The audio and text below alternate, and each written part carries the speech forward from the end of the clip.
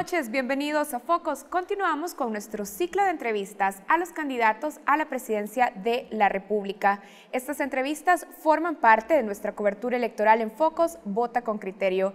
Y en este espacio de entrevista voy a compartir la conducción con Alberto Arene. Alberto, buenas noches. Buenas noches, un saludo a nuestra audiencia. Y con Saúl Hernández. Buenas noches, Karen. Buenas noches también a quienes nos sintonizan. Bueno, también queremos dar la bienvenida a esta mesa de entrevista a Josué Alvarado. Josué Alvarado es candidato a la presidencia por el partido Vamos y este, este programa lo vamos a dedicar justamente a conocer un poco más sobre su propuesta de programa de gobierno. Josué, bienvenido a nuestra mesa.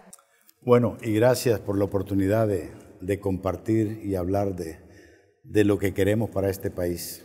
Bienvenido. Bienvenido. Gracias. La entrevista que vamos a desarrollar a continuación se va a dividir en cuatro bloques.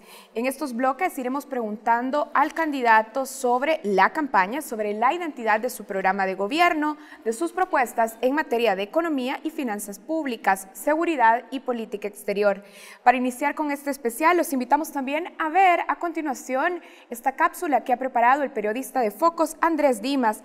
En esta cápsula vamos a conocer un poco más sobre el perfil de Josué Alvarado y el surgimiento de su partido Vamos. Josué Alvarado Flores nació en el departamento de la Unión hace 62 años, hijo de una familia cristiana evangélica. A temprana edad se trasladó a la ciudad de San Miguel, donde estudió y emprendió en un negocio de lácteos. En 1985, a sus 30 años, huye a Estados Unidos a causa del conflicto armado. En la nación norteamericana, inicia la venta de productos varios a los migrantes centroamericanos en el área metropolitana de Washington, D.C. Para el final de la década del 80, funda Río Grande Foods, empresa que se dedica a la venta y distribución de productos nostálgicos. En 1992, funda en El Salvador la exportadora Río Grande SADCB, empresa que abastece a su filial en los Estados Unidos. Tres años más tarde, completa la línea de producción con el establecimiento de Tierra Fértil SADCB, sociedad agrícola y ganadera ubicada en el Departamento de La Paz. En El Salvador, sus empresas brindan empleo a cerca de mil trabajadores. En 2015, tras 30 años como empresario, incursiona en la política. Corre como candidato a diputado propietario por San Salvador bajo la bandera del Partido Demócrata Cristiano. Obtiene 12.000 marcas de preferencias y no logra un escaño en la Asamblea Legislativa. Tras la derrota, se desvincula del PDC e inicia la fundación de su propio partido, Vamos. El partido se establece en noviembre de 2017 y Alvarado funge como su secretario general. Vamos se inscribe como partido participante en las elecciones presidenciales del 2019. En julio del 2018, Josué Alvarado se inscribe como candidato único a la presidencia. Es ratificado en los comicios internos con 487 votos de 492 emitidos, con una participación del 60.8 del padrón electoral.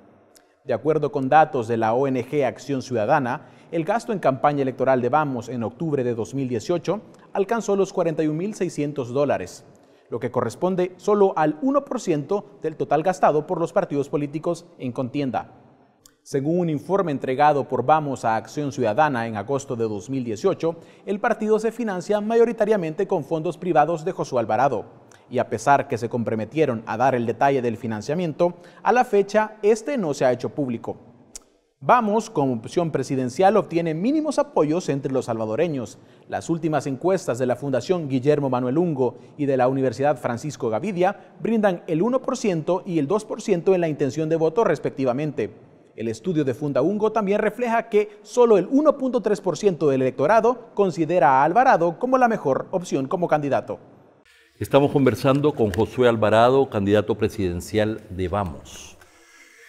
Recientes eh, encuestas de opinión ubican la preferencia por Vamos en 1,9, 2%. Me estoy refiriendo, por ejemplo, a la encuesta de Fundaungo, pero también de la Universidad Francisco Gaviria.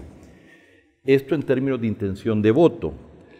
Eh, estamos claros de que usted fundó el partido pocos meses después eh, antes de lanzar la candidatura. O sea que hubo relativamente poco tiempo de organizar el partido a nivel nacional.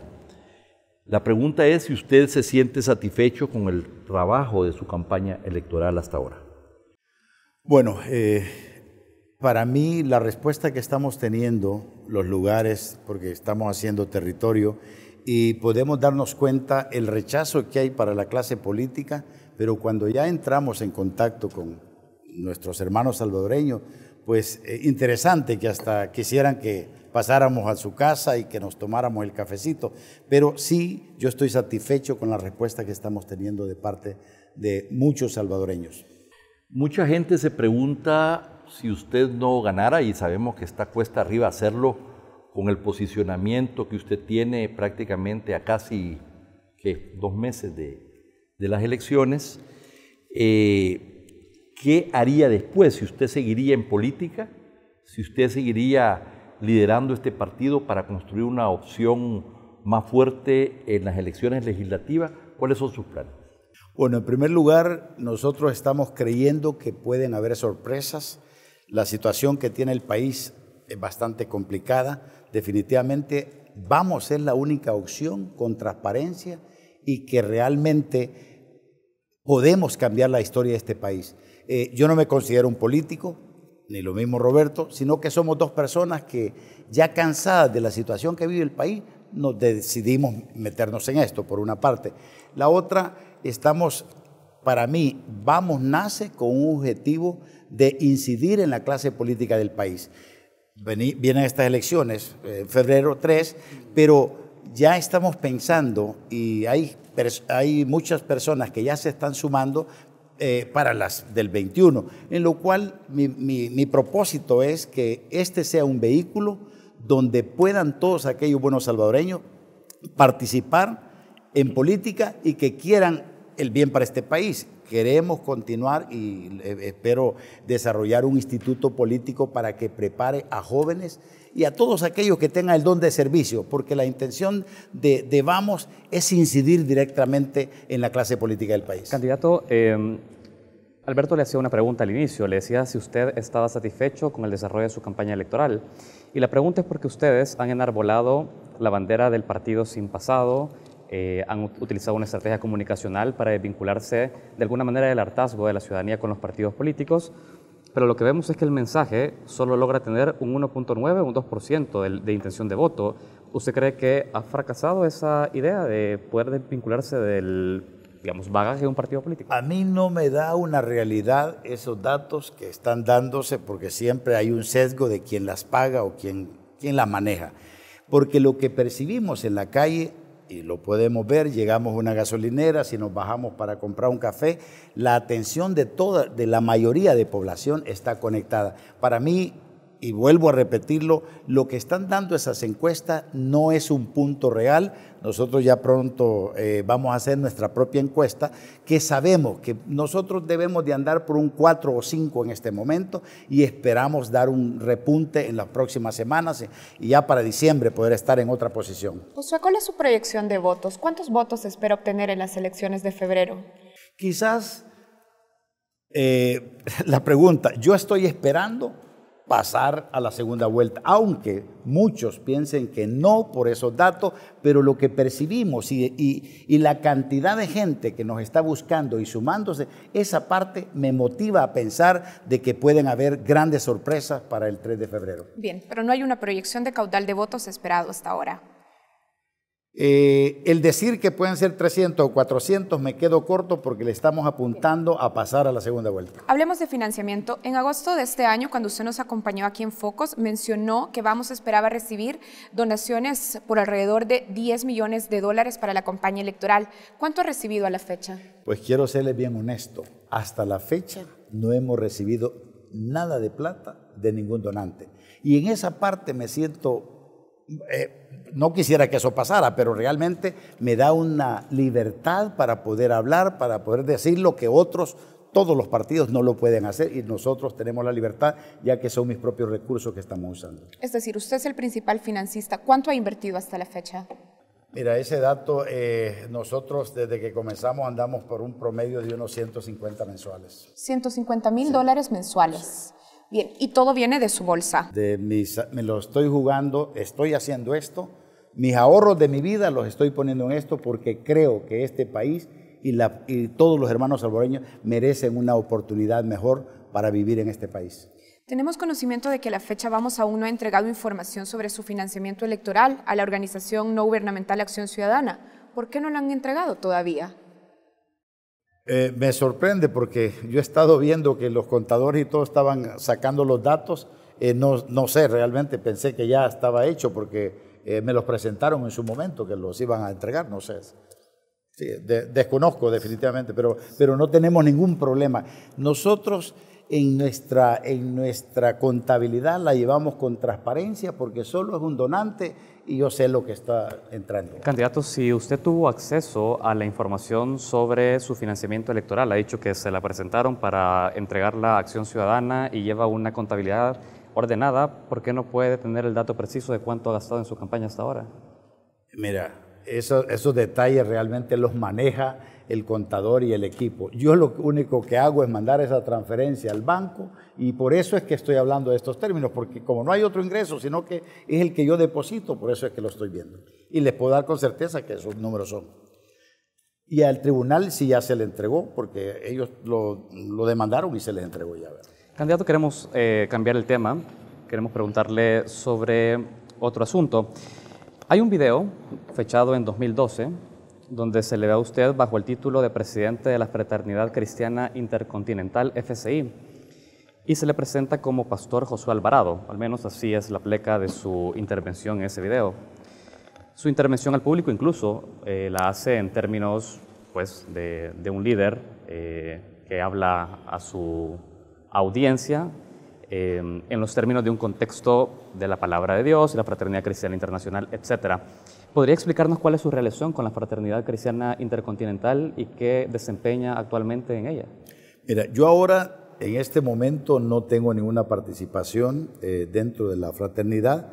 Ya todo eso, pues definitivamente eh, es, mi hermano que está llevando a cabo la dirección de la fraternidad y eh, soy el que lo he patrocinado hasta el día de ahora, pues la, fraternidad, hace muchos años desde que nació, a nivel de todas las iglesias que tiene la fraternidad, he sido el, el, que le ha aportado en esa visión.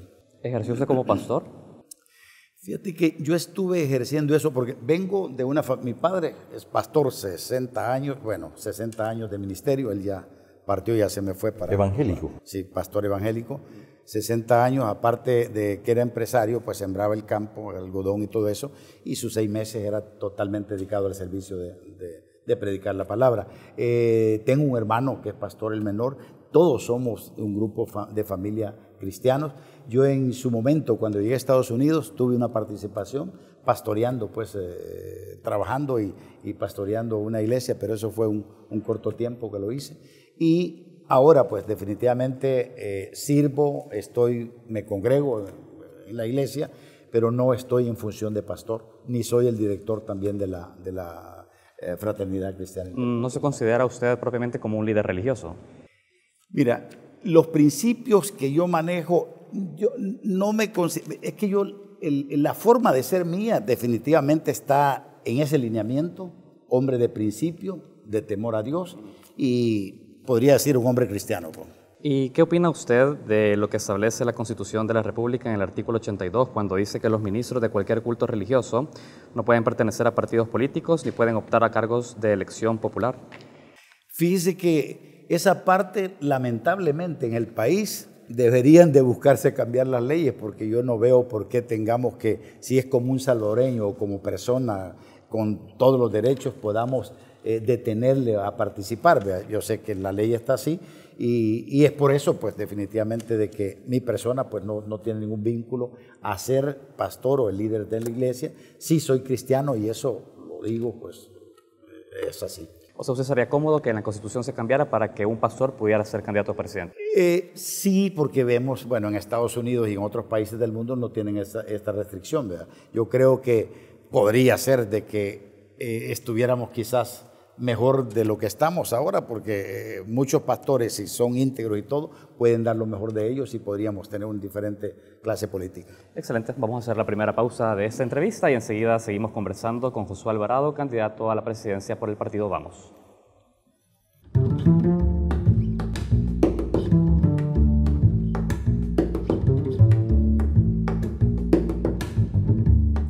Recientes estimaciones económicas prevén que para el próximo año la recaudación tributaria será más baja que en 2018, por lo que recursos disponibles para el próximo gobierno serán aún más limitados. El Salvador tiene actualmente una carga tributaria del 18.3% respecto al PIB y la estimación del déficit fiscal para el 2019 es del 3.7%. En una entrevista en Focos meses atrás, el candidato presidencial de Vamos, Josué Alvarado, opinó que la solución al desafío de los ingresos fiscales no es con más impuestos, sino con la incorporación del sector informal en la economía. No solamente la gran empresa, sino medianos y pequeños eh, empresarios nos hacen y nos dicen, tenemos una cantidad extra de impuestos ellos quieren saber si se les va a quitar, se va a aumentar y todo eso. Nosotros lo estamos analizando en este momento, esos puntos, así puntualmente lo estamos viendo, pero que creo que para dinamizar la economía no es generando más impuestos. Porque una de las cosas que yo pienso de que podríamos lograr es motivar o eh, hacer incentivos para la población que está ahora en un estilo informal. ¿Cómo así? En darle oportunidades, decirle los beneficios que puede alcanzar cuando se hace, se formaliza. Sin embargo, su compañero de fórmula, Roberto Rivera Ocampo, cree que hay impuestos que vale la pena estudiar, como es el caso de un impuesto predial. Que eh, la plusvalía eh, suba, etcétera, ¿verdad? Y, así como ese, hay otros impuestos que tenemos que analizarlos. Eh, el impuesto predial, creo que somos de los pocos países, sino el único que no, no lo tiene. Y eh, probablemente sea más eficiente este impuesto que la gran, el gran listado que hemos estado eh, pagando durante los últimos años. Sobre la participación del sector privado en el desarrollo económico y social del país, la fórmula de Vamos rechaza las privatizaciones y apuesta por el fortalecimiento de las alianzas público-privadas, con un sector público eficiente. Yo lo que creo es que es posible llevar esos, eh, eh, esos asocios, pero en una forma ventilada y discutida para que pueda ser beneficiada la población.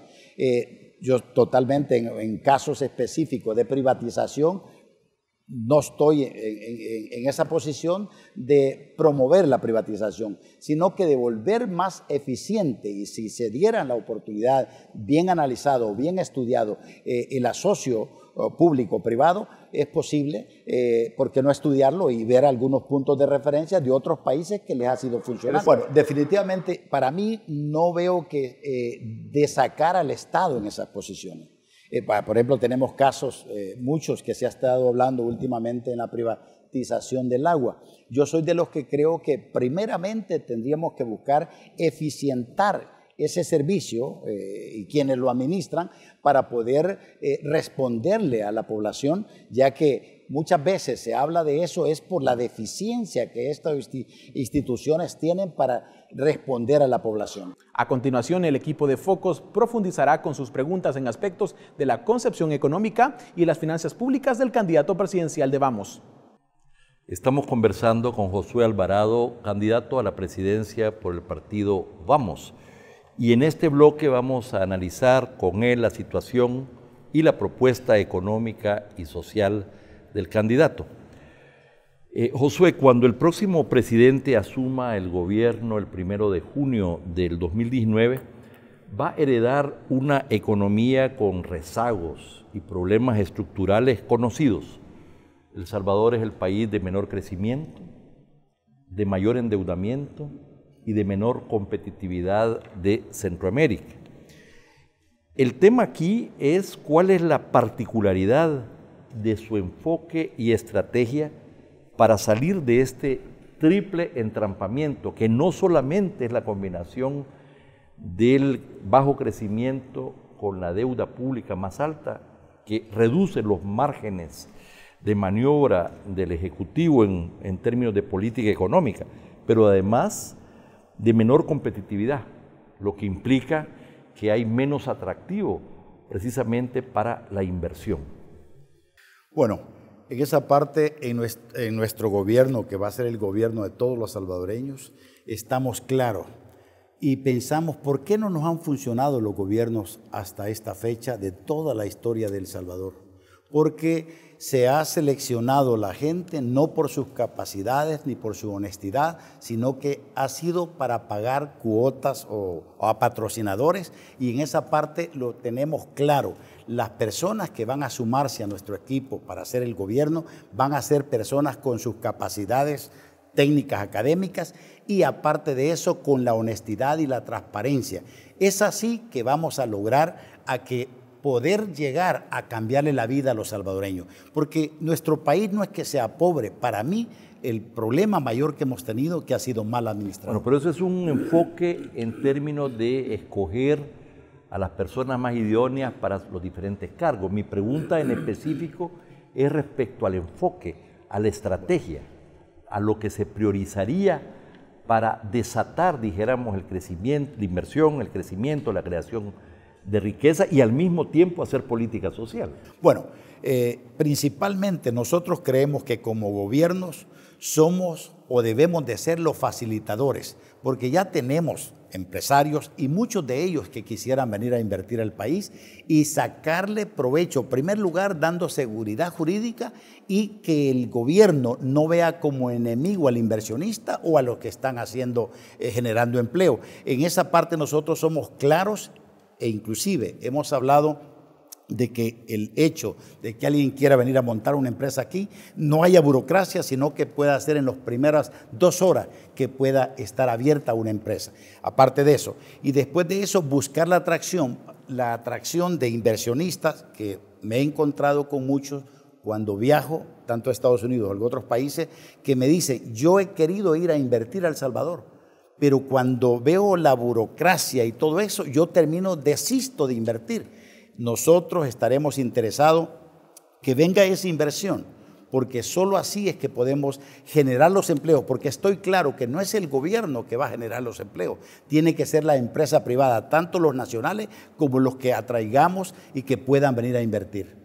Para que nos quede claro en este punto, entonces, Josué, ¿cuál debe ser el rol del Estado en el modelo económico? ¿Cómo lo visualiza? Bueno, para mí tiene que ser solamente un facilitador. En primer lugar, ¿qué es un facilitador? Un facilitador que esté pensando, por ejemplo, nosotros deberíamos de, proveer que hayan jóvenes o en el, en el campo del estudio que se preparen con lo que se está necesitando y demandando el país, porque muchas empresas van a demandar que trabajadores especializados en algunas ramas, y en, en programación, en digital, en todo este mundo ya globalizado, ponernos al día con las capacidades de nuestros jóvenes para que puedan esas empresas encontrar los elementos y sumarlos a sus equipos de trabajo. En materia tributaria, porque vamos a continuar hablando, nos interesa justamente conocer cuál es su propuesta para vincular educación a crecimiento económico. Pero en materia tributaria, ¿Cómo ve la participación del Estado, del gobierno?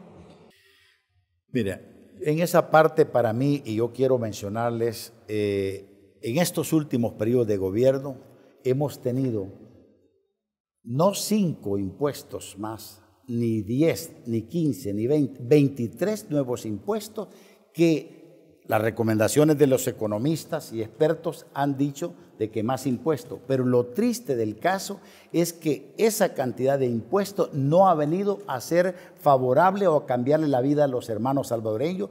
No hay agua potable, hay una deficiencia, hay una carencia de, muchas cosas que el Estado debía de proveérselo a los salvadoreños que no se ha logrado con esa cantidad de, de impuestos. Nosotros, aparte de que no vamos a poner impuestos, queremos incluso de ellos quizás eliminar algunos. ¿Y por qué quiero decir esto? Porque la gente, la de día a día que está allá afuera en la calle, su canasta básica, apenas le ajusta para la canasta básica. Y queremos que le ajuste y que tenga platita en su bolsillo y que también pueda en fin de mes llevar algo a su casa. Candidato, eh, la respuesta que usted está dando y en su calidad de candidato a la presidencia tiene que ser bastante seria y sustentada en números. Usted dice, nosotros no vamos a eh, llevar nuevos impuestos en nuestra propuesta de gobierno e incluso se atreve a decir, eliminaríamos algunos de los existentes. Hay estudios recientes en el país que señalan que la recaudación tributaria en 2019 va a ser incluso mucho menor de la que fue en 2018 y que el próximo gobierno, si no logra tener una medida que le genere mayores ingresos fiscales, no va a poder hacer ni lo que hizo este gobierno durante el año que estamos cerrando. Entonces, díganos cómo va a financiar la política pública. O sea, qué números tiene para poder financiar todos los desafíos de desarrollo que tiene el país. Bueno, en primer lugar, van a haber ajustes. El despilfarro que tiene el país y que ha tenido, y que ha tenido, y que está teniendo, definitivamente nos permite, nos permite hacer uso, reduciendo eso. Y aparte de eso, tenemos la certeza de que en nuestro gobierno no vamos a tener esos esos números de 300 o 350, ni vamos a tener los saquitos ni las bolsas de basura. Y esa parte me da una convicción a mí clara que vamos a administrar bien los recursos del Estado y haremos que puedan ajustarnos porque todo eso, si lo vemos nosotros a nivel de, digamos, si lo vemos a nivel del el Ejecutivo, el Gobierno, el Presidente, las sumas que se ha llevado, y aparte de eso, que para mí esos números podrían ser mayores, eh, con todo lo que esto envuelve, los, el, equipo de eh, las personas que tienen los, todos los equipos de trabajo cercanos al gobierno que también hacen lo de ellos. Candidato, me gustaría que le pueda brindar tanto a esta mesa como a la audiencia números. ¿Cuánto tiene previsto ahorrarse con el ajuste que está señalando? ¿Tiene un número? Bueno, nosotros hemos estado trabajando y pensamos que pueden ser eh, de unos 500 a 1000 millones de dólares los que podríamos estar ahorrando y con eso poder cambiar la vida de muchos salvadoreños. Vamos a ver, esto es un enfoque, el suyo hasta ahora, enfocado sobre todo en la reducción del gasto, en la contención del gasto y posiblemente en la reducción de, gastos inútiles. Y de la corrupción. ¿Verdad? Y de la corrupción. Pero no se ha enfocado en todo hasta ahora en cómo va a generar más ingresos.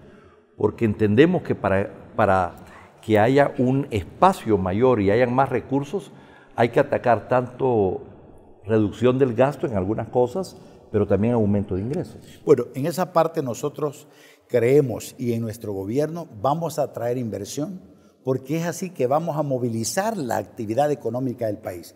Yo creo que este país, si le damos la seguridad o la certeza a los, a los empresarios eh, extranjeros para que puedan venir a invertir, vamos a generar empleo, vamos a cambiarle la vida a muchos hermanos nuestros, porque definitivamente el gobierno tiene que estar en un plan de facilitar, no saltando las leyes, sino que las personas que vengan a invertir, que tengan una confianza en el aspecto de, que este gobierno no es un gobierno Usted lo que está diciendo es que su enfoque principal en términos de generación de ingresos es precisamente promover la inversión privada para que de ahí surjan eh, buena parte de los ingresos adicionales. Totalmente, totalmente. Cuando nos dice eliminar impuestos, cuando menciona esto, ¿de qué impuestos está hablando?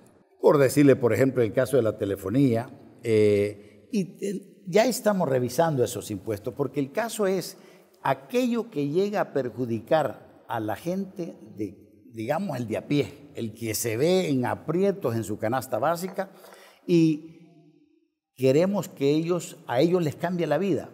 Por ese lado uno. Y la otra es proveyéndole los servicios básicos, que esa parte es la que golpea, porque aquella persona que quizás está con salario mínimo, pero se ve obligada a tener que comprar los medicamentos porque no se los provee el Estado, esas situaciones le asfixian más a cada persona con, que está viviendo de un salario mínimo. Continuamos con el guion de, de la entrevista, candidato. Usted ha señalado la atracción de inversión privada generará mayores oportunidades y de ahí vamos a poder obtener mayores ingresos fiscales al país. Hablemos de la educación. Eh, si José Alvarado llega a la presidencia, ¿cuáles van a ser las áreas en las que usted va a apostar para formar a los jóvenes que salen al mercado laboral? ¿Cuáles son esas grandes apuestas de educación? Bueno, en primer lugar, nosotros creemos de que nos hemos quedado obsoletos en el sistema educativo lo que está demandando el mundo globalizado e inclusive las empresas que se vienen a...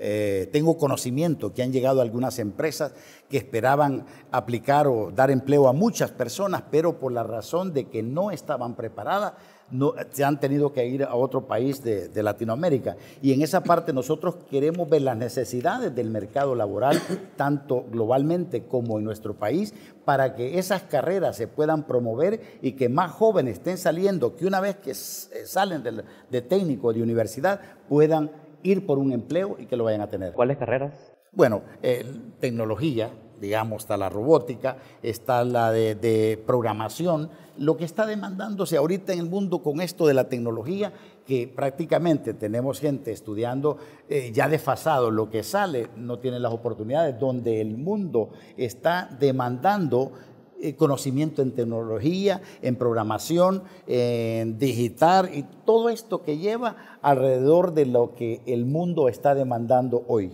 Coméntanos algo, 500 mil jóvenes no estudian ni trabajan actualmente en El Salvador. ¿Qué hará usted para enfrentar ese desafío? Bueno, lamentablemente estuve viendo un dato, un porcentaje, de que muchos jóvenes no estaban interesados en estudiar.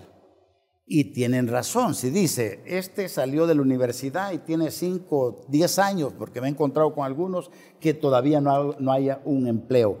Esa parte tenemos que motivar a los jóvenes para que se preparen y estudien, pero dándoles oportunidades de empleo aquí en el país e inclusive en oportunidades que puedan, hasta en otros países, puedan demandarse con la preparación que se les dé aquí en nuestro país.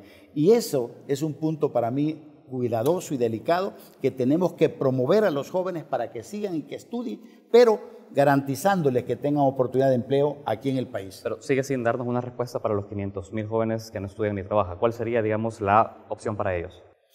Bueno, en este campo, a mí en lo personal me interesaría que ellos puedan volver, a, si tienen sus edades para hacerlo, a estudiar. ¿Cómo se hace eso? Eh, facilitándoles porque tengo entendido que muchos de ellos se quedan porque aplican en una universidad nacional y tienen los cupos limitados. Tendríamos que abrir espacio para que ellos puedan estudiar. Bien, la logística es uno de los ejes de mayor potencialidad para el crecimiento y desarrollo económico y social del Salvador. ¿Podría resumirnos su estrategia de desarrollo logístico para el país? Bueno, y sabe que nosotros estamos considerando que el Cisco hacer un, un, un área donde podamos darle oportunidad a todos los emprendedores que quieran entrar en dinámica, desarrollar o crear nuevos negocios.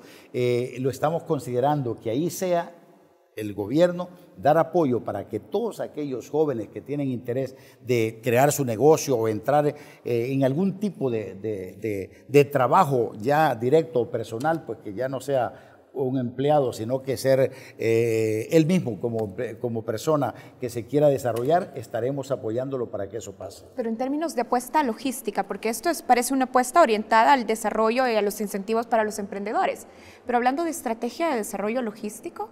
Bueno, nosotros tenemos, y en esa parte lo hemos estado viendo, somos un país que es estratégico a nivel de Centroamérica y que y el, el, área de territorio que tenemos, que no es muy grande, puede permitirnos que seamos un centro de logística a nivel de Centroamérica y otros países del mundo. Yo creo que eh, lo hemos estado viendo, incluso se hablaba de la parte de Oriente, de Occidente, donde crear esos espacios para poder eh, atraer, atraer y poder dar ese servicio a muchos países, incluso de, de aquí de Latinoamérica y Centroamérica.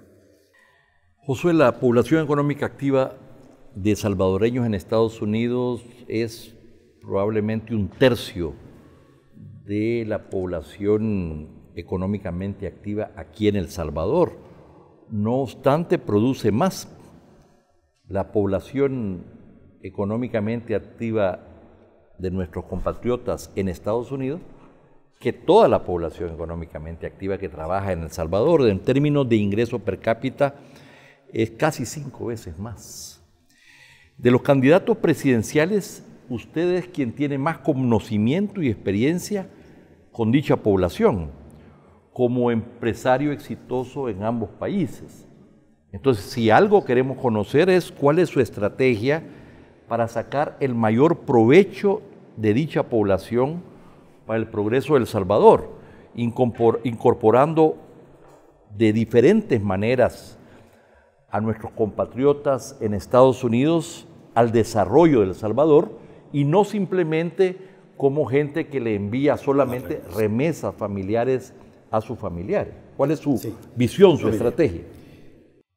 Yo en lo personal eh, creo en las capacidades de los hermanos salvadoreños porque ya están hechos a trabajar en una potencia, pues la número uno del mundo. ¿Y usted es uno de ellos? Estamos en eso y, y veo las capacidades que ellos han desarrollado y conocimientos que han desarrollado en el país del norte, que bien podrían venir a ser aplicadas en nuestro país, pero muchos de ellos, y vuelvo a repetir lo mismo, han encontrado barreras para poderlo hacer. Yo tengo cantidad de personas, tanto salvadoreños y americanos, que han estado interesados de hacer esto, pero no han podido concretar porque la burocracia o el desconocimiento, el poco apoyo del gobierno eh, que hay para ese tipo de, inversionista o persona. Para nuestro, en nuestro gobierno, que es el gobierno de los salvadoreños, estaremos enfocados a atraer a estos que ya son exitosos en construcción, en diferentes áreas que se han desarrollado y que quieren venir a invertir, facilitarles para eso.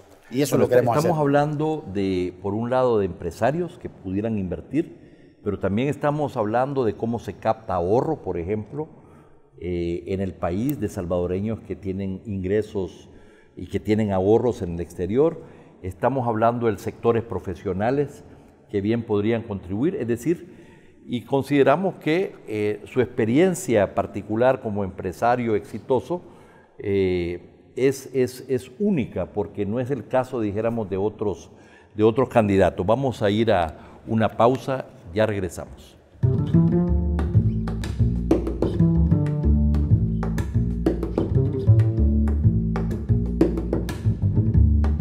Los últimos años, la lucha contra la corrupción en El Salvador ha llevado al banquillo de los acusados a tres expresidentes de la República. En este contexto, reviste particular importancia el escrutinio público y control sobre las actuaciones del próximo presidente, con el objetivo de prevenir potenciales conflictos de interés a través de sus negocios e influencias. Vamos se autodenomina como el partido que va a frenar la corrupción. ¿Cómo lo hará?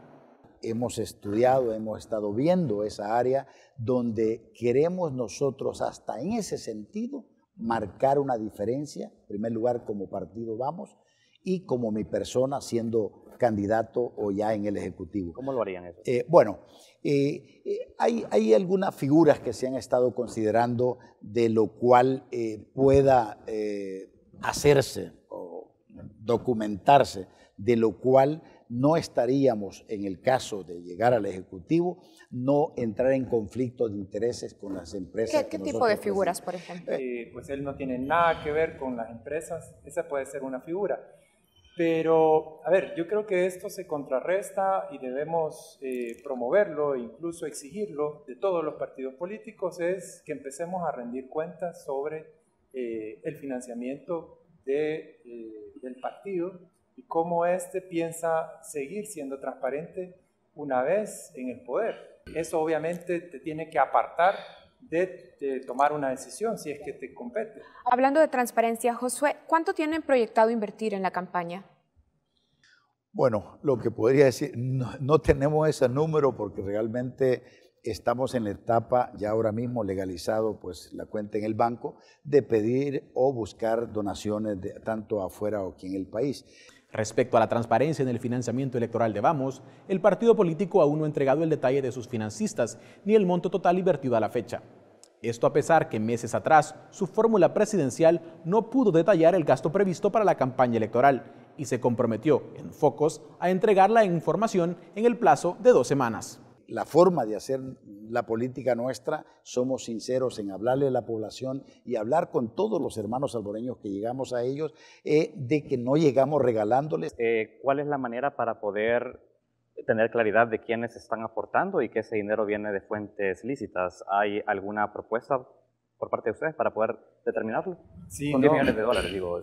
Una cantidad bastante, sí. Yo creo que en dos semanas vamos a estar eh, listos para, para presentar el informe hasta diciembre de 2017 y al mes siguiente ya podríamos estar presentando por lo menos los seis primeros meses del 2018. Hasta ahora, ¿de dónde han venido las fuentes de financiamiento? ¿De qué sectores sí, vienen? Bueno, en este, hasta el día de, de hoy, eh, prácticamente son recursos que provienen de, de Josué. Continúa en sintonía de esta entrevista especial para conocer más detalles sobre la propuesta electoral del candidato presidencial de Vamos, Josué Alvarado. Recuerda que puedes interactuar con nosotros a través de nuestra cuenta de Twitter, arroba FocosTV, utilizando la etiqueta Vota con Criterio. Estamos de regreso en esta entrevista especial de nuestra cobertura Vota con Criterio. Esta noche conversamos con Josué Alvarado, candidato a la presidencia por el partido Vamos. Bueno, ahora queremos hablar un poco sobre seguridad pública y hemos analizado algunos de los elementos que ya Josué Alvarado ha dicho sobre este tema. De hecho, ha ya expresado estos puntos muy específicos. Las políticas represivas del tipo mano dura solo han logrado incrementar la violencia, ha dicho. También ha planteado la necesidad de recuperar los territorios a través de servicios públicos de calidad ha hablado de la necesidad de depurar la Policía Nacional Civil y de mejorar las condiciones de vida de los agentes y sobre todo ha dicho que apoya proyectos de reinserción y rehabilitación de personas que han vivido involucradas en problemas de violencia. Ahora, Josué, nos interesa entender esto. ¿Cómo plantea usted, cómo define usted reinserción y rehabilitación? Y sobre todo, ¿podría explicarnos los elementos específicos de su propuesta de política pública de reinserción? Sí. Eh, eh, yo quisiera, eh, Karen, quizás en, agregar un poco de lo que estaba diciendo Alberto sobre la oportunidad que tenemos de nuestros hermanos, el 30% de nuestros hermanos salvadoreños viviendo en el exterior. Bueno, yo soy un caso. Lo que yo vi, lo que aprendí en Estados Unidos, me ha servido. Por ejemplo, he venido al campo a montar cultivos de maíz, donde sacamos cuatro a cinco cosechas al año con tecnología y todo eso. Y eso ha venido, ¿cuántos hermanos más tenemos allá que tienen conocimientos que podrían venir a aportar a la economía de nuestro país? Aparte de eso, eh, la, en la industria que hacemos también ha sido motivado a lo que hemos aprendido en Estados Unidos. En el caso también específico de la ganadería, tenemos una ganadería que produce los niveles, eh, digamos, de promedio por vaca, eh, que no es lo común en el país. ¿Por qué lo hacemos? porque nos ha servido el conocimiento que adquirimos en Estados Unidos y que lo hemos venido a aplicar aquí en el país. De esa manera, ¿cuántos más pueden venir a aportar en eso? Entrando específicamente en tu tema de seguridad. ¿Cuál es su propuesta de política pública de reinserción? Yo, en la parte, y quizás esto a mí me dé la libertad, ya que tengo el conocimiento. Durante nueve años lo hemos venido haciendo con resultados exitosos en rehabilitación y reinserción y ahora también llevamos cuatro años en prevención de violencia en las escuelas de primer grado a noveno grado. Y cuando te digo esto es porque vemos los resultados. Pero ¿qué es lo que sucedió? Hemos sido exitosos, pero nos dimos cuenta que como empresa no podía dar el soporte para que todo el país se llevaran estos proyectos. cuando, cuando dice como empresa es porque desde... La asociación, eh, eh, la fundación o la asociación la sostiene la empresa. Ya, su empresa. Sí, mi empresa, la, eh, la empresa Río Grande Food Product y aquí la exportadora Río Grande. Lo hemos estado haciendo ya por nueve años y los resultados son exitosos. Rehabilitación es un proceso que hacemos uso de iglesias evangélicas en los sectores de alta violencia que en conjunto trabajamos con ellos y los resultados que tenemos son buenos y por eso es que creemos que hay oportunidad de rehabilitar alguno de estos jóvenes. Para que, para que nos vaya quedando claro, entonces, su fundación trabaja con iglesias en los territorios y a través de las iglesias trabajan programas de reinserción para jóvenes. Sí, pero el equipo de trabajo lo ponemos nosotros, los psicólogos, los técnicos. La parte que hacemos uso y digamos nos complementamos con la iglesia es porque a ellos dentro de los territorios de conflicto le tienen confianza de acercamiento de estos tipos de personas con los pastores o los líderes de las iglesias. Si usted, si usted es electo presidente, ¿su política de reinserción estaría más allá del cristianismo? Mira, es una parte que realmente ese es lo único que podemos garantizar que esa, esa es eh, la esencia de la relación que ellos tienen con Dios, hace ese cambio para ellos. Porque hemos visto que hay diferente, porque alguien me decía, mire, no es solo darle un trabajo, porque podíamos pensar de que el problema de ellos es porque no tengan un trabajo. Ya cuando están en esto, no es solo eso, hay un proceso y un tratamiento, aparte psicológico, pero la relación y el vínculo con las iglesias nos ha dado resultados. Candidato, es decir que bajo su planteamiento y la respuesta que le está dando a Karen, usted no concibe que exista un proceso de reinserción de pandilleros, sino es a través de su conversión al cristianismo. Sí, sí, y lo voy a decir eh, así enfático, sí, porque ya han habido otros proyectos y procesos, pero que al final no han dado el resultado, porque puede ser de que temporalmente, y me explicaba, por ejemplo, una empresa muy grande allá en, en La Unión, que ellos le daban el empleo a este tipo de personas, iban a la pesca y todo, pero cuando venían con plata y todo, venían a, a ser parte del, a vincularse con los grupos eh, de pandilla. Y en este caso sí tenemos la certeza que ellos se pueden recuperar y aparte de eso, es una, una oportunidad que se da que no para todos tienen eh, eh, permiso, digamos, de sus líderes para que lo puedan hacer, si no es por medio de un tratamiento como este. Quiero entender cuál es el concepto de conversión de cristianismo que es en los términos en los que lo plantea. ¿Hablamos de que es un cristianismo a través de iglesias evangélicas o funciona también el cristianismo a través de una iglesia católica? Sí, sí, no, eh, nosotros estamos abiertos porque no solo evangélicas, y hay otros que están haciendo este tipo de trabajo.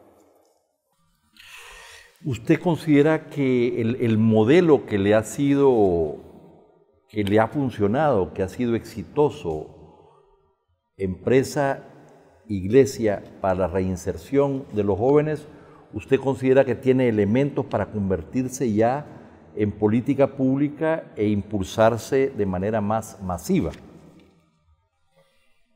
Sí, porque no solo nosotros estamos haciendo esto con resultado. Ya en este momento hay otras iglesias, otras eh, congregaciones que están llevándolo a cabo con sus recursos y han tenido éxito en ello. Yo creo que eh, el apostarle, el apostarle esta vía es una gran oportunidad de poder rehabilitar a estos jóvenes, muchos de ellos eh, que estarían esperando una oportunidad y yo, yo, le, yo le apuesto eso.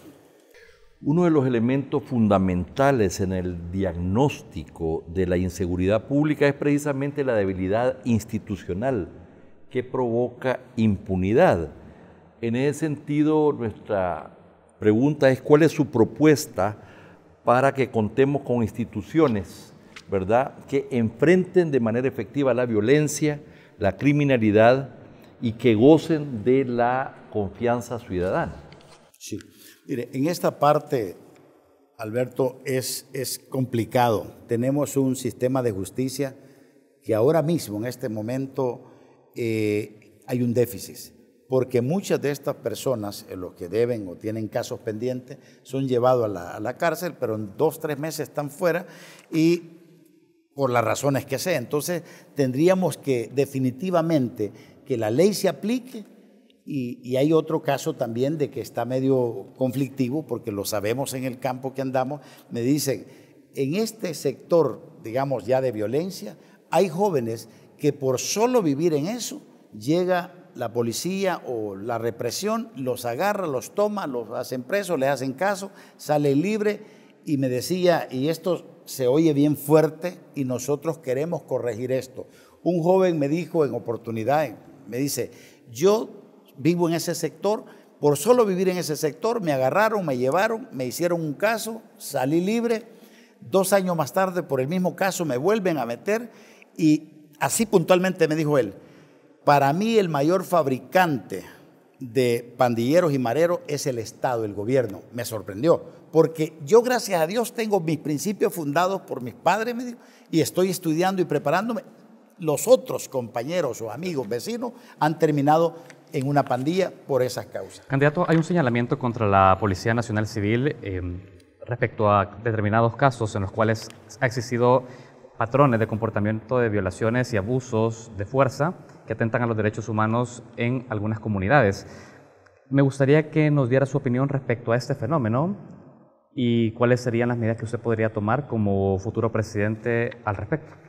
Bueno, en primer lugar hay que hacer una depuración dentro de la policía y hacer ver que la población pueda encontrar la confianza, porque ha perdido mucho la ciudadanía la confianza en, los cuerpos de seguridad por diferentes razones. Entonces nosotros, aparte de hacer la depuración, tendríamos que eh, trabajar para que la credibilidad de la policía y la confianza debe de... El, el policía debe generarle confianza a las comunidades. ¿Cómo se hace la depuración? Bueno, en primer lugar, en primer lugar, eh, las cabezas tienen que eh, hacer otra. Bueno, hoy en tiempo yo creo que hay tecnología, hay medios como para poder detectar aquellos elementos que no están siendo positivos a favor de la policía. Y en esa parte pues ya hay expertos en ese tema que estaríamos haciéndolo, porque definitivamente nos encontramos, y yo lo escucho de mucha gente, mire, yo no voy a dar una denuncia, porque si oí la denuncia, yo no sé con quién estoy hablando y termino mal, y eso no, no debería de oírse así. Josué, quiero volver a, un punto que estaba poniendo en la mesa. En su análisis parece que hay un planteamiento de causalidad entre ser cristiano y no ser pandillero. Pero no podemos olvidar que parte de el rol de un estadista, de un presidente, es justamente velar por la separación entre iglesia y Estado. ¿Cómo impulsar una política pública de reinserción que no tenga como eje central la conversión al cristianismo? Mire, cuando yo hablo tanto a la Iglesia Católica o la Iglesia Evangélica para hacer este trabajo, en este momento el fenómeno que nos está golpeando en todas las áreas de nuestro país es la violencia. Si es el camino, porque hay muchas formas que se han aplicado, pero con cero resultado. Y si esto es lo que da resultado, y estoy hablando de este término no porque yo sea cristiano, sino que eh, mi interés es que resolvamos el problema de la violencia. Es decir, nosotros no negamos, de hecho, en el Plan El Salvador Seguro, las iglesias son actores fundamentales en el territorio para prevenir el asunto de la violencia. Pero ¿cómo construir una política pública que no dependa de la conversión al cristianismo? Si nosotros nos encontramos que se han hecho de tantas diversas, eh, eh, digamos, trabajos que han querido hacer los gobiernos y no han dado resultados, y esto ya a mí me da un resultado, porque yo, yo tengo números ya de la cantidad de personas que hemos rehabilitado y que están insertadas ya, ya como ciudadanos normales, porque el trabajo nuestro es hacer gente de bien, ese es el propósito. Y si ese es un elemento que nos puede servir para hacerlo, yo no veo problema para hacerlo. Su enfoque no solamente está basado en su, en su fe, por un lado, pero ciertamente es un tema de qué funciona y qué no funciona. Eso Y en su percepción, si esto no va acompañado de, de las enseñanzas y los valores cristianos, pues no daría el mismo resultado. Prácticamente lo que se trata con ellos son principios y valores. Eso es lo que estamos haciendo, como lo estamos haciendo en las escuelas de primer grado a noveno grado en la prevención de violencia. Bien, antes de irnos a la pausa, nos interesa también conocer cuál es su propuesta para atender a las víctimas de desplazamiento interno forzado por violencia. Nosotros en nuestro trabajo que vamos a hacer en las comunidades que están afectadas por violencia, van con intención de una recuperación de los territorios y llevarle los servicios básicos a esa población. Y cuando digo esto, porque es una pena y una vergüenza que ahora vemos hasta la autoridad ayudándole a sacar sus muebles en vehículos a los ciudadanos que por alguna razón de violencia tienen que huir. Nosotros queremos recuperar esos territorios para que nuestra gente pueda quedarse a vivir ahí y que se sienta que por el Estado está siendo protegida. Porque para mí es lamentable ver eh, la cantidad de personas que se están moviendo o desplazándose, e incluso que se menciona que la razón para que esos grupos de personas estén saliendo en marcha para Estados Unidos, que no debía estar pasando. Pero previo a la posibilidad de recuperar los territorios y que estas personas puedan volver a sus comunidades, que entendemos que es la situación ideal, ¿cuál es su propuesta de atención en el corto plazo, de inmediato? Bueno, como vamos, es un gobierno que está preocupado por la familia salvadoreña, estaríamos delegando a personas para que busquen la mejor salida o dónde podemos aplicarlas para que puedan tener su trabajo o puedan tener su vivienda, que es bastante difícil con lo deficitario que está en el país, el caso de la, de la vivienda, pero sí estaríamos dándole atención escuchándolos y viendo cómo podemos apoyarles para resolver e inclusive tendríamos que crear algún fondo para poder responderle acerca de esas necesidades cuando están expuestas la vida de estas personas en los lugares de origen. Cuando dice fondo, está hablando de un fondo de atención a víctimas. Sí, es válido. Nosotros como gobierno estamos interesados a cambiarle la vida a la gente y que le vaya bien.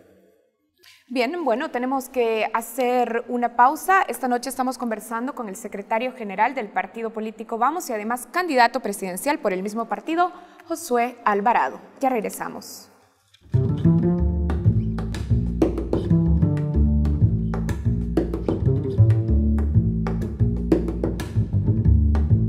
Estado salvadoreño ha sido objeto de críticas de organismos internacionales en materia de derechos humanos por su posición restrictiva sobre el aborto.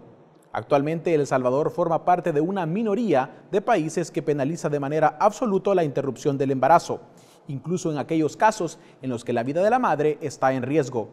¿Cómo se posiciona Vamos en este debate? Revisando un poco lo que está planteado en sus estatutos, Josué plantean esto, respeto a los principios del humanismo cristiano, respeto a la vida desde el momento de la concepción, respeto y defensa de la familia. En nuestro país está abierta, ha estado abierta la discusión sobre la interrupción del aborto. Yo en ese tema eh, tengo claro, definitivamente, una, son elementos contados no es cantidad, muchas veces lo dicen por un aborto o por hecho. Yo en lo personal soy pro vida. Y el cortar la vida a, un, a un, feto, eh, para mí eso va contra mis principios como persona y soy pro familia. Yo creo que la postura es bien clara y es firme.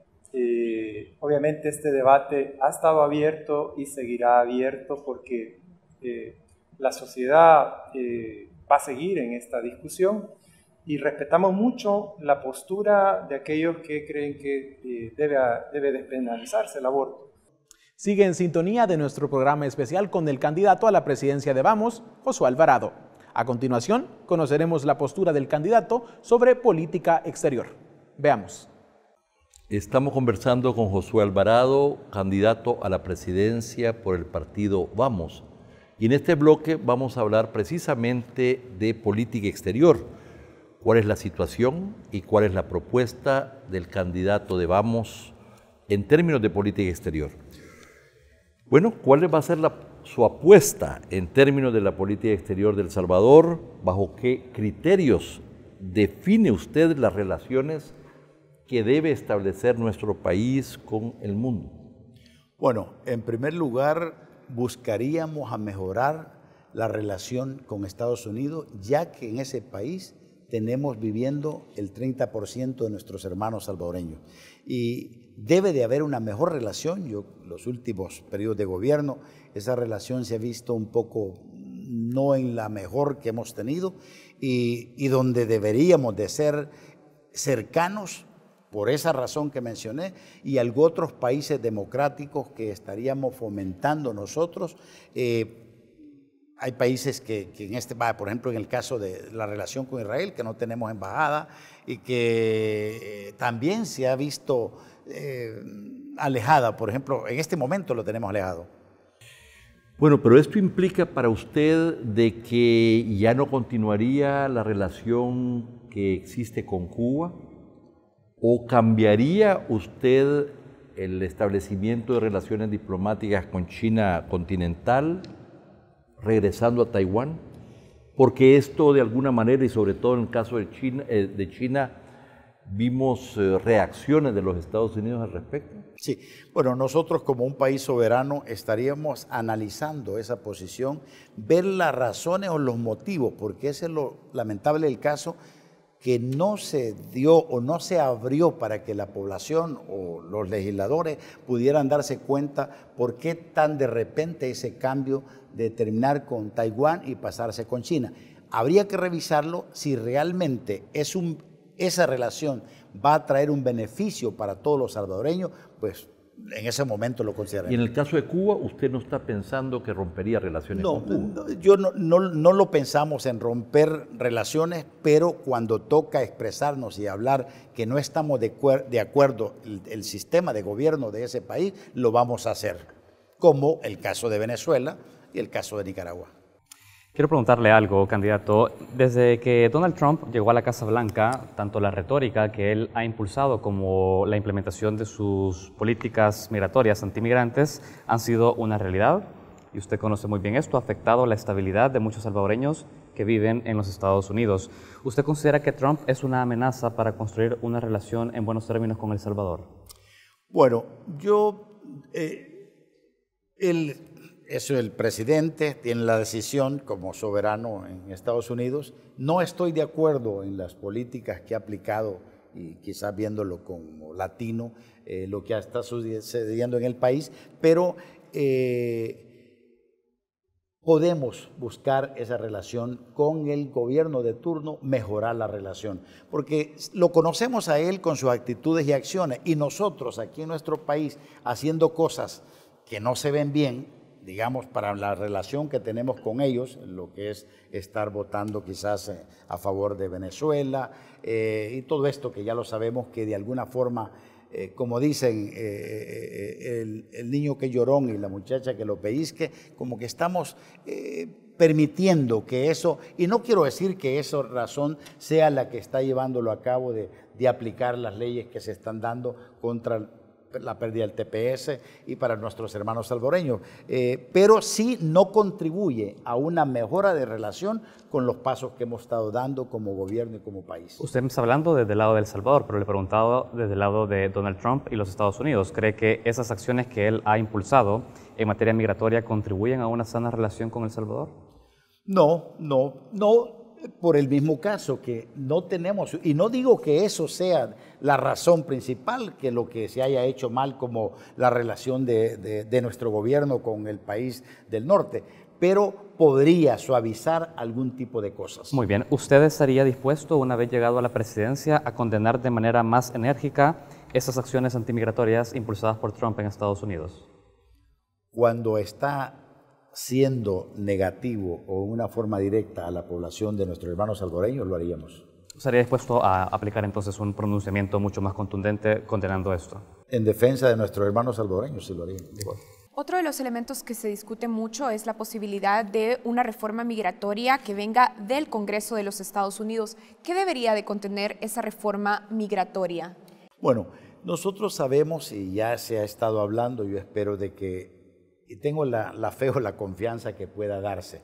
Hay más de 11 millones de, ilegales que están esperando a que pase algo. Ya ha habido promoción de algunos congresistas eh, para eso, pero yo estaría, eh, yo le estoy, no sé, quizás soy pasado de fe en ese término, pero yo esperaría, porque una de las razones que yo pienso por qué puede pasar es que en este momento hay una deficiencia, hay una escasez de mano de obra y el querer sacar a 11 millones de salvadoreños vendría a darnos un caos como empresa o como empresario también de, allá. Puedo verlo porque ya ahorita tenemos eh, demanda de, personal para, para el trabajo y esto va a obligar como un personaje empresario que el beneficio que eso le traería a la nación aparte de los impuestos y todos los beneficios que podrían generar toda esa cantidad de personas, directamente las empresas que están con déficit de personal eh, estarían a favor también de eso. Ahora, entiendo, entendemos el, el, diagnóstico o la justificación con la que se puede presentar una reforma migratoria, pero la pregunta es, ¿qué elementos debería de tener una reforma migratoria que beneficie no solo a los salvadoreños, sino también a los latinoamericanos en Estados Unidos? Bueno, en esa parte respetamos la posición del gobierno de Trump, eh, que tiene algunos, eh, digamos, eh, que no haya estado envuelto en violencia, que no haya fallas y todo eso, pero sé que hay una cantidad fuerte de latinos y especialmente salvadoreños que están pagando impuestos, que tienen su casa, que tienen su carro y que son candidatos ya por los años que tienen, muchos de ellos hay 20 años, 15 años que están viviendo allá, que podrían ganarse ese, ese lugar para que puedan ser eh, se les pueda dar eh, la facilidad de legalizarse. Candidato, nos gustaría conocer su opinión respecto a los resultados de las recientes elecciones de medio término en Estados Unidos, eh, teniendo en cuenta que la definición, la configuración de la política norteamericana tiene una incidencia directa precisamente por la cantidad de salvadoreños que hay allá. ¿Usted ve de manera positiva el triunfo del Partido Demócrata en la Cámara de Representantes? Como un impulso para una reforma migratoria? Sí, yo creo que sí, porque eso da un balance. Yo sé que hay la mayor, bueno, hay un mayor porcentaje de los demócratas que han estado abogando por esa reforma migratoria, pero lamentablemente ellos tuvieron el poder con Obama y no lo hicieron. Y hay algo otros que están en pronunciamiento. Nosotros incluso estamos tratando ya haciendo contacto con, con, personas que están cercanas a senadores y a congresistas para abordar el tema, eh, ver qué podemos hacer eh, para que, o, o a dónde, para dónde apuntamos, porque yo creo que eso podría darse eh, y lo estoy diciendo, son mis deseos, pues eh, realmente ellos tomarán la decisión, pero sí yo creo que por el momento y el ambiente podría darse esa reforma. ¿Usted tiene contacto directo con representantes eh, en la Cámara en Estados Unidos? sí. ¿Con quiénes? no, bueno, recientemente, y por eso tengo que hacer un viaje hoy en estos últimos semanas, he estado hablando con un salvadoreño que está cercano a ellos y que está promoviendo pues para que podamos reunirnos con, con, eh, esta, con este senador. ¿Cuál es su propuesta para estimular, para fomentar, para fortalecer la integración centroamericana? Somos un país pequeño que hemos tenido una vocación centroamericana, pero vemos que las instituciones eh, principales de la integración pareciera que no tienen toda la fuerza, toda la vitalidad que necesitan. ¿Cuál es su visión? ¿Cuál es su propuesta? Bueno, yo creo que viendo eh, los, que tenemos representantes en el Parlace, debían de hacer la gestión o un trabajo, digamos, más, más fuerte para ver si lo podemos lograr, que sería para mí, pues sería bueno para todo Centroamérica o por lo menos empezar a hacerlo. Yo sé que las relaciones con Guatemala eh, son buenas y por ser los vecinos, pues tanto Honduras y, Guatemala, que pudiéramos dar paso por esa vía y después ir alcanzando el resto de, países de Centroamérica. Sabemos que siempre Costa Rica ha estado un poquito como que en el bloque, no, no, en todo se ha sumado, pero deberíamos de dar pasos. Yo sé que se han dado aperturas, por ejemplo, con Guatemala, pero fomentar más eso espacio y que esos beneficios, ya como, como abiertos, digamos la relación más abierta con estos países, puedan apoyarnos para que lo hagamos a nivel centroamericano.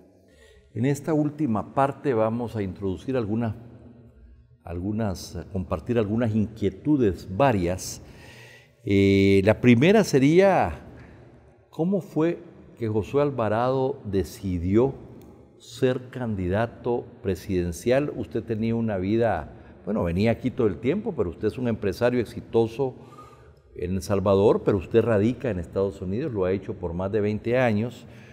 Eh, ¿Por qué se tuvo que meter en esto? ¿De dónde le vino la inspiración, la motivación, el llamado a ser candidato? Sí.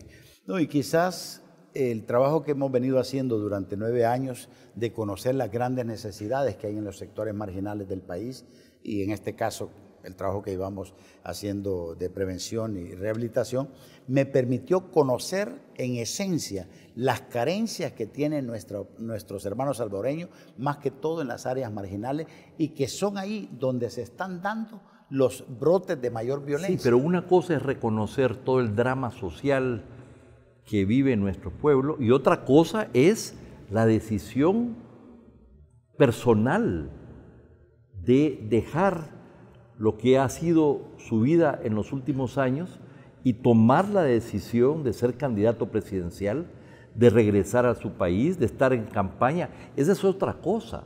O sea, yo creo que todos reconocemos el drama social de este país, pero, pero otra cosa es la decisión de ser candidato. Sí, no, mire, yo lo he dicho y lo voy a decir otra vez. Yo no estuviera en esto si los políticos no nos hubiesen mentido, engañado, robado. Esa determinación de la historia triste que vive un país y que de muchos hermanos salvadoreños que quisieran regresar, aquellos que están bien y aquellos que están en problemados con lo de, lo de la pérdida del TPS, que quisieran regresar. Esas razones me motivaron a mí.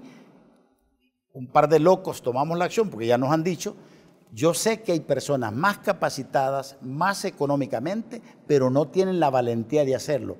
Este intento y lo que estamos haciendo nosotros va enfocado a que esto ya comenzó a cambiarse la historia de este país. Y yo esperaría que los salvadoreños puedan tener una lectura clara, porque yo no soy político. Si a mí esto, mire, yo nunca he estado en esto. candidato a la presidencia. Sí, sí pero, pero cuando digo...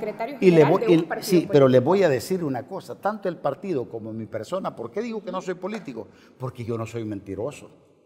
Y para ser político para llamarme, aceptar esa expresión, tendría que volverme mentiroso. Y espero no llegar a ser político porque yo, mis principios, mis valores, mi forma de trabajar y de hacer las cosas son así. Candidato, ¿en qué medida eh, su relación o su espiritualidad, su relación con la iglesia también influyó en la decisión de ser candidato a la presidencia?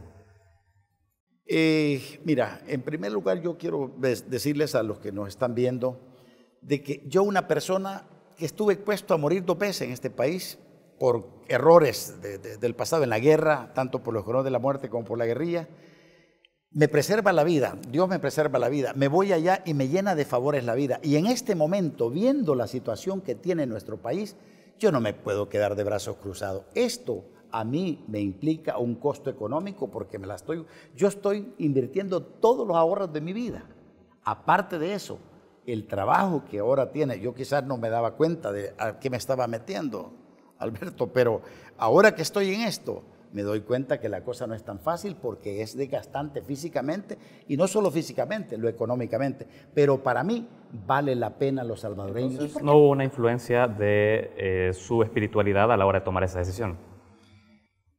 Mira, soy un hombre de fe y, y no podría atribuir totalmente eso, sino que es las necesidades que veo en el país que me obligan a saltar a esto. Mire, usted es un hombre eh, no solamente de fe, pero es usted es un empresario.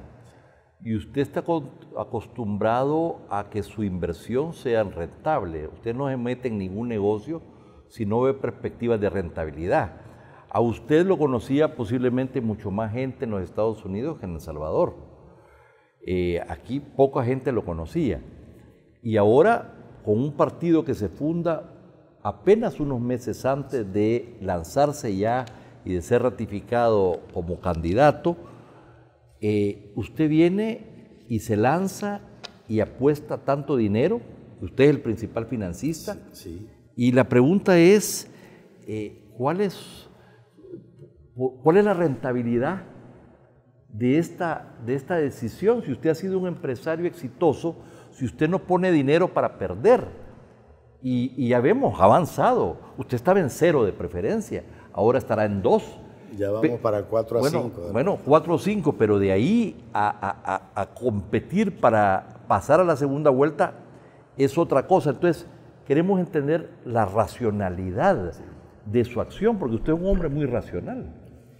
Yo quiero decirle a todos los salvadoreños, yo no estoy en esto porque pienso hacer vida ni un negocio de la política. Incluso yo ahorita mismo estoy pensando que jóvenes vengan a sumarse para que sigan. No voy a ser vitalicio como secretario ni candidato o, lo que voy a buscar dentro de esto.